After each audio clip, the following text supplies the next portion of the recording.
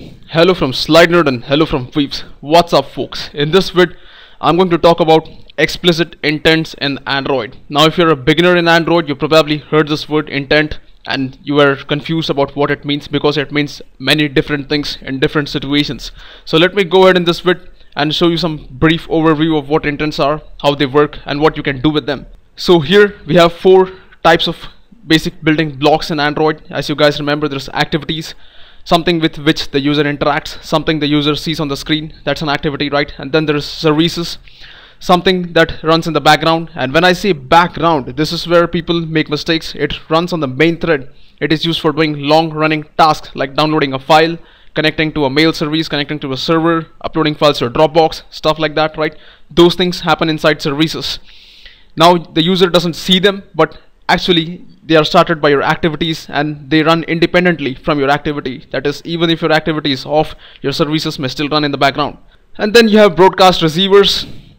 Broadcast receivers are people who sleep all the time. But when suddenly something happens they wake up and they do something. For example when your battery goes low you can have a broadcast receiver inside your app that wakes up and shuts down all the downloading and uploading in your app right?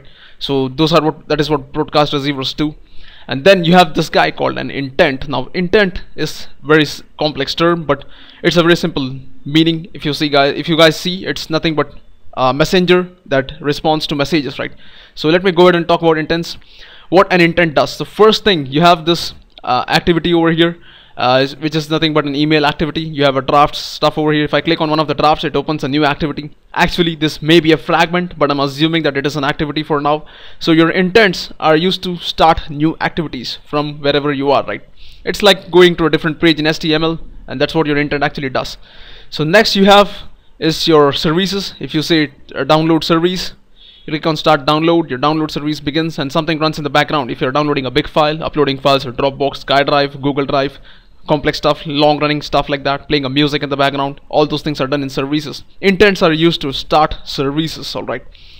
Next, you have your Android system and you have this thing called a broadcast receiver. Broadcast receiver is nothing but like an alarm.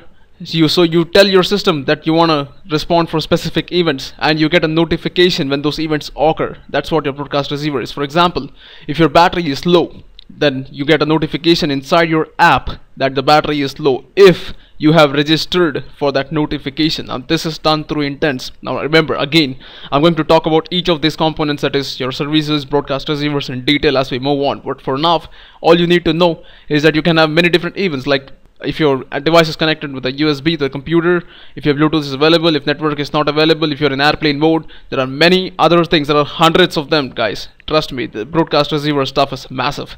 There are many intents you can register for and you can use them in your app to do different things, alright. And then here I talk about what is the fourth use of an intent. So here if you see there's your launcher screen and there is this thing called main activity. Now if I show you the structure of my project actually there are three activities activity B C and main. Now my question to you guys is why only main activity is seen over here? Why not activity B? Why not activity C? The reason is if you see the code in the manifest file that is your android manifest.xml inside your main activity there is something called an intent filter which has something called action something called category. And if you see the other that is your activity B and activity C they don't have anything like that.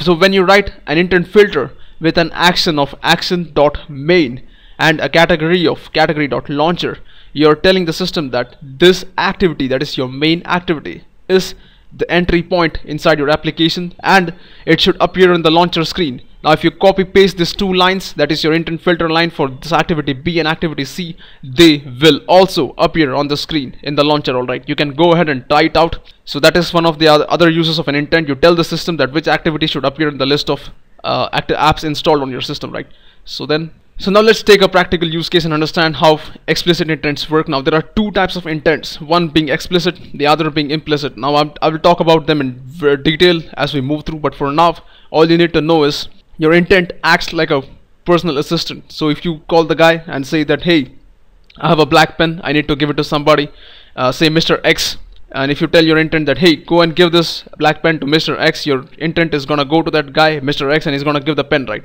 same way you can also take a pen from Mr. X and get it to you with, with you. That is another thing which you can do. Now these are explicit intents.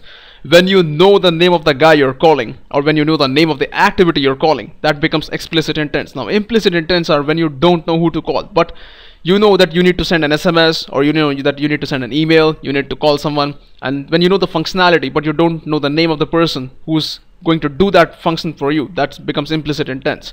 Now I'll talk about implicit intents in detail, but for now in this vid, I'm going to talk about explicit intents only. So here, if I have my activity A and then there's my activity B. Now they're both inside the same app, alright.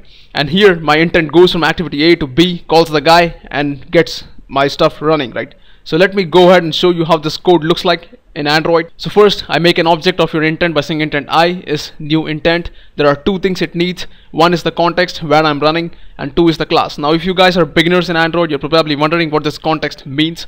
Context is like your hotel room service. You tell the guy that hey give me this, give me that, get me access to this, get me access to that, bring me coffee, bring me food and the context is gonna do that. That's what your context basically is. It's an environment to your application or your Android operating system by which you can access all the resources. I'm going to talk about context in detail too, but for now, this is all you need to know. Then, if I say start activity and I pass i inside, so I'm going to call that activity B, right?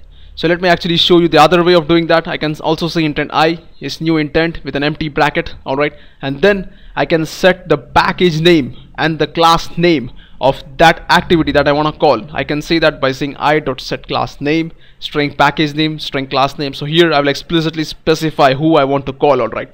And next I'll say start activity for i. It's gonna work the same way. So I hope you guys understood the concept of intents. In the next vid, I'm gonna jump into Eclipse and show you how this works right as a hands-on application. Alright. If you like what you saw, please subscribe to my channel, comment, let me know what you think about this. I'll catch you guys later. Have a nice day. Thanks for watching.